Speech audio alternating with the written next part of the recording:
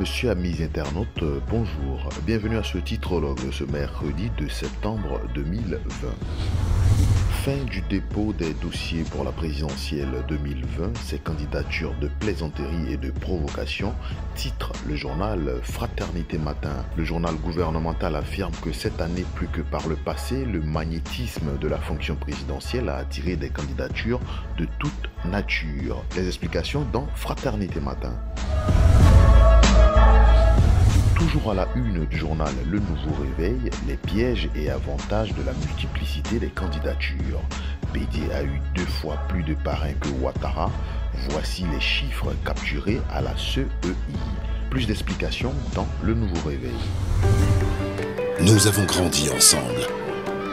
Et nous évoluons toujours ensemble. Main dans la main. Toujours aussi proches et encore plus innovants pour vous faire profiter, ainsi qu'à vos proches et à toute la Côte d'Ivoire, des meilleures avancées technologiques pour une meilleure qualité de service.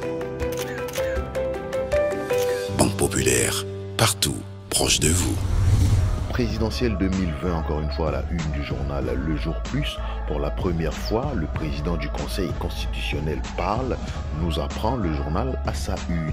Depuis quelque temps, nos concitoyens sont devenus tous des constitutionnalistes. Chacun y va de sa vérité absolue.